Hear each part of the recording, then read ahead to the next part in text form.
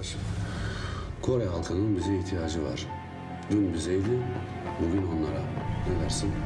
Şeref duyarım efendim.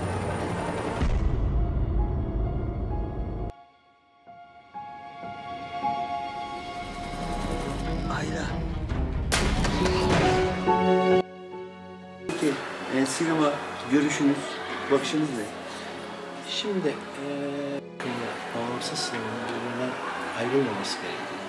Ama zaten özgür olmalı. Teşekkür ederim. Rica ederim.